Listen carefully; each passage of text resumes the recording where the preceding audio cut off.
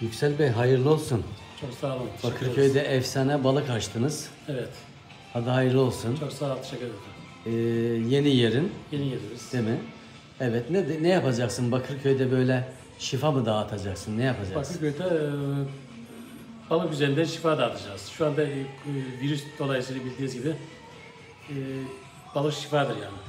Mesela balık çorban var Balık çorbası var. Güzel. İşte ara sıcaklarımız var. Kalamar, midye, karides, şu an. hamsi, işte mısırın da hamsi yapıyoruz az yağda. E, Çok güzel. istavrit var işte mezgit, tekir, hamsi pilavıdır değişik böyle buğulama tarzı, kavurma var, balık kavurma. Çok Yani balığın güzel. her türlüsünü yapıyoruz. O zaman iki kişi gelin bir kişi ödeyin desek Evet. bir menü e, olsa Evet. bir rakam belirleyebilir miyiz? Ee, Hani iki kişi gelin bir kişi İki ödeyin kişi gelin, bir kişi ödeyin. Ee, iki- 200 lira civarı. 200 civarı. Evet. Tamam.